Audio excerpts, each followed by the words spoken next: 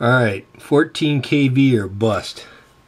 You can see we are 50 microseconds per division. This is uh, 5,000 volts per division. And you can see we're reading 12.4 volts peak, so that's 12,400 volts and a 50 microsecond full width half height. I had taken the meter apart and it did not appear that we had caused any damage. So I ended up using our old buddy here. Alright, so this is going to be a little over 12,000 volts with a 50 microsecond full width half height. Again, this is with a 2 ohm source impedance.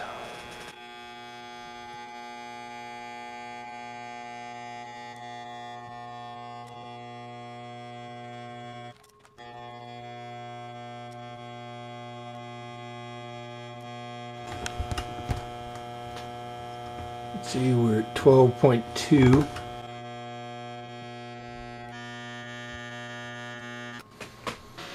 Okay, that's it.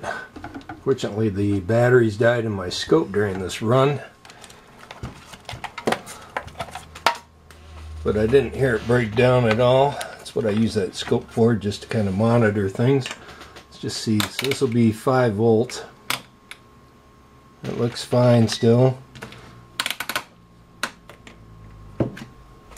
This should be 118 millivolt. That looks fine. Should be 60 hertz. That seems fine.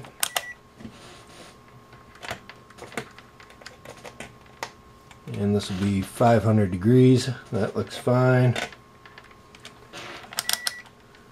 And this is with a short. That appears fine. It's with a 10 mega ohm resistor.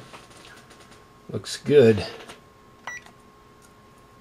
This is continuity check. Let's just try the capacitance mode. That looks fine. This is a 0.1 microfarad. Looks good. Alright, I'll go ahead and functional test it.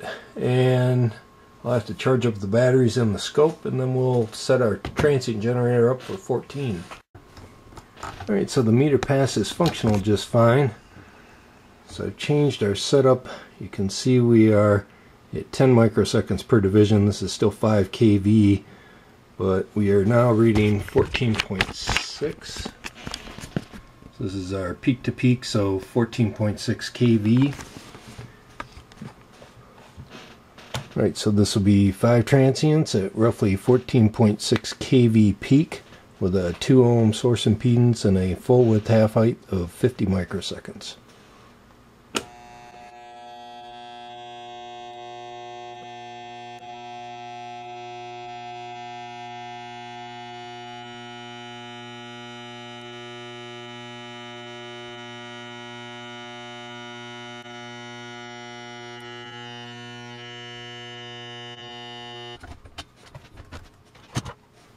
Alright, so the camera batteries died right after the scope batteries and I didn't have a spare set so I've charged up a whole new set of batteries overnight. We'll just finish where we left off. So we have to run all the negative transients now. It's just a little over 14,000 volts.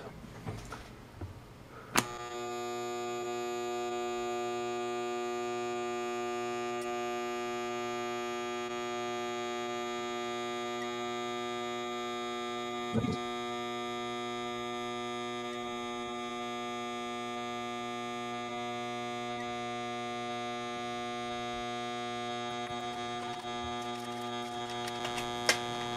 give it one more for good measure.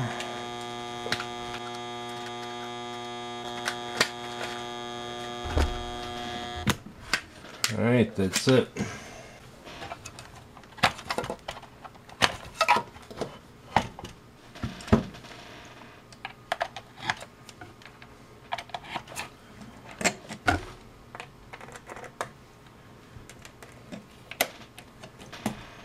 Right, this will be 5 volt. This should be 2.5.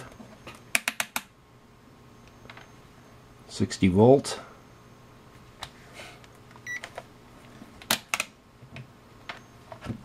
Should be 2.5 and this should be 2.5 should be 60 hertz should be 50 percent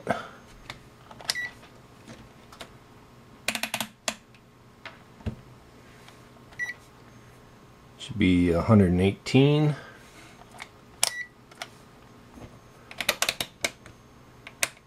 this should be 60 hertz that should be 50 percent Let's try temperature. Should be roughly 500 degrees. Again, we can go a little over a thousand. This is with a short.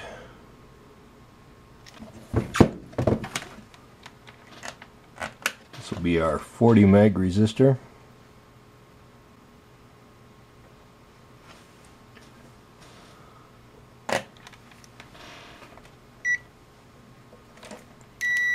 continuity test diode check with a short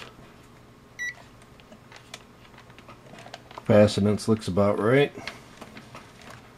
This will be a 10 microfarad capacitor. Alright so the meter looks good. Let me go ahead and finish functional testing it. Alright so our modified Kasuntest ZT102 survived all those tests. So that was 14,000 volts at a 50 microsecond full width half height. That is right on par with what I've tested the Fluke 101 at. Pretty good, but I think we can do better. This generator actually has the capability of going up quite high in voltage. So here's some uncharted territory. This is 5,000 volts per division and you can see we're a little past three divisions and the cursor is set for the peak it's 17,000 volts with a 50 microsecond full width half height the highest levels that I've ever tested to were with the Fluke 107 and I think that failed somewhere at 15 or 16,000 volts what I'm going to do is give this thing five transients in just the voltage mode We'll try negative and positive. Let's just see if this will damage this meter finally. Alright, so we're just going to run this in the voltage input. Again, this will be 17,000 volts with a 50 microsecond full width half height and a 2 ohm source impedance.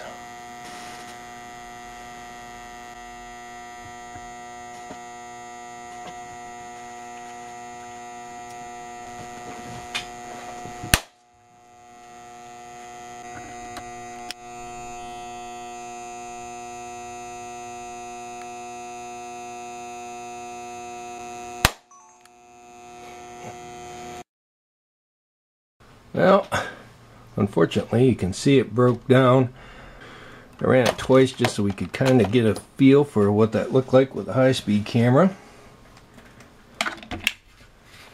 I'm not too surprised that that broke down. That's a lot of voltage. Alright, so let's just have a look. This will be with our 5 volt signal. So it doesn't look like we've damaged anything. Again, let's try her at 2.5. That looks fine. Let's see if resistance still works. Again, this will be a 10 meg ohm resistor. So it looks good. And again, the peak voltage of that transient was higher than I've tested any of the flukes or any meter at actually. And again, if that had been done with a real IEC transient generator, I would pretty much guarantee that this meter would be non-existent. You know, there's a lot more energy in those transient generators than what I test to with these smaller generators. Again, about 20 joules with these is it.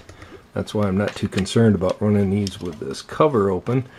And again, I'm not trying to evaluate these meters for safety. I'm not trying to blow the cases apart. Well, that's going to be it for the Kasuntest. Again, 14,000 volts or bust. I think we've achieved that. Later.